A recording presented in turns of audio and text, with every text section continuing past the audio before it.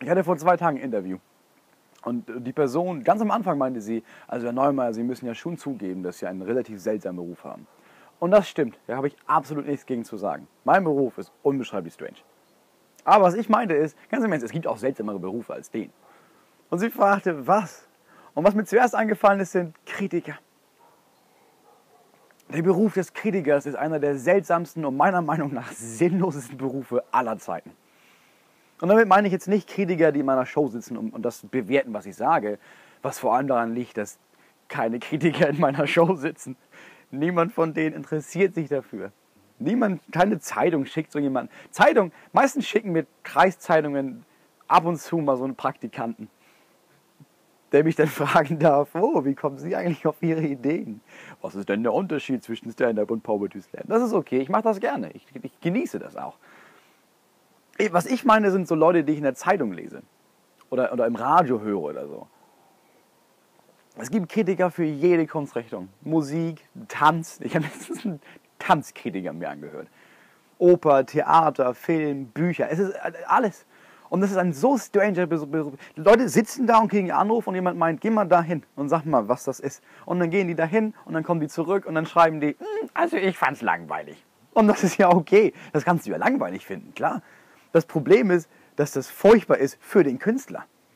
Weil auf dich, wenn du meinst, darauf hören Hunderte, teilweise Tausende Leute.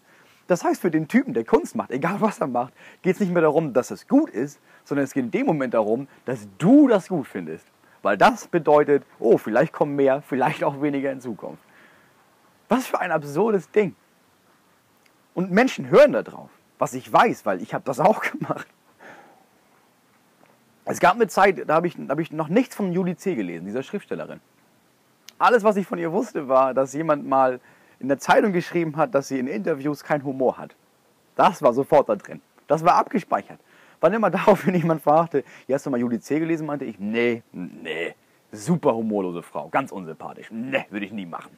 Wie mies von mir. Irgendwann habe ich dann Adler und Engel gelesen, ihr Debütroman einer der besten Bücher, die ich jemals gelesen habe. Und zwar viel zu spät, einfach weil ich immer an dieser Kritik festgehalten habe, weil da so ein Stempel drauf war mit, ah, langweilig. Das ist nicht cool. Man darf sich davon nicht beeinflussen lassen. Ich glaube, glaube, es gibt relativ viele Gespräche, in denen das so ist, in denen Leute das, in denen Leute kommen und fragen, Annike, kommst du mit ins Kino? Wir wollen ins Kino. Und Annike meint, nee, der Film ist super dumm. Ach so. Ach, du hast ihn schon gesehen, oder was? Nee.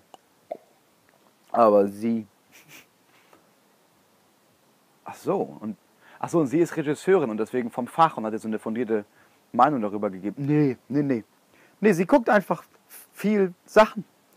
Und ab und zu findet sie das dumm. Und dann ich auch. Okay. Gut, dann äh, vielleicht nächstes Mal. Ja, ja, ja, muss ich gucken. Also muss sie gucken. Und dann weiß ich, ob mir das gefällt oder nicht. Nein, weißt du nicht. Geh nicht zu Sachen deswegen, weil ein Kritiker meinte bla bla bla bla, sondern geh einfach zu Sachen. Unterstütz Künstler. Geh dahin, egal was die anderen sagen. Und wenn du Kritiker bist, wenn das jetzt jemand sieht und Kritiker ist, komm in meine Show und finde das bitte fantastisch, weil du musst schreiben, das ist fantastisch, damit mehr Menschen in meine Show kommen. Dafür sind Kritiker genial.